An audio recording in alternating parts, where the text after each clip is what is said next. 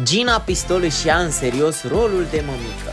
A născut-o în luna martie a anului 2021 pe Josephine și de atunci se ocupă exclusiv de bunul mers al creșterii micuței.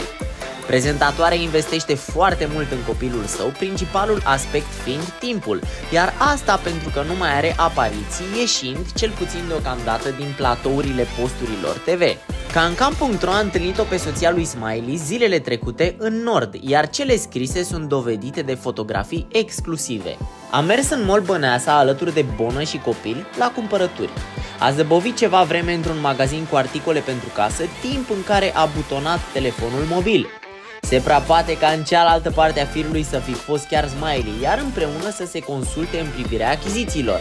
Până la urmă sunt uh, soț și soție, împart aceeași casă, e fire să știe și cântărețul cu ce mai vrea consoarta să decoreze căminul. Așa da, muncă în echipă,